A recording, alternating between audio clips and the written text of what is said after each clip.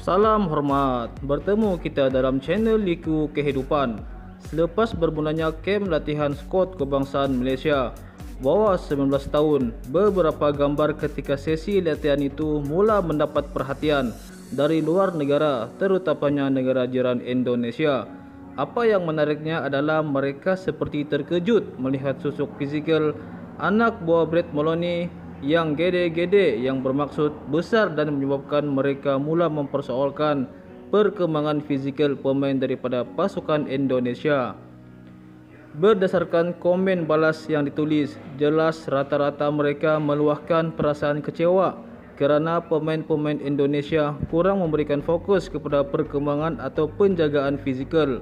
Mungkin ada benarnya juga apa yang mereka nampak itu terutamanya seperti fizikal yang dimiliki oleh Zack Raif yang cukup padu sebagai seorang pemain bola sepak dan masih berumur 19 tahun ketika ini.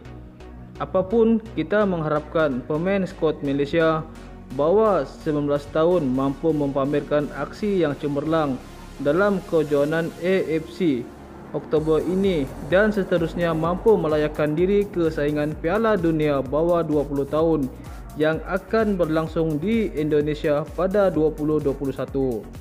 Sekian dahulu info daripada saya. Salam hormat.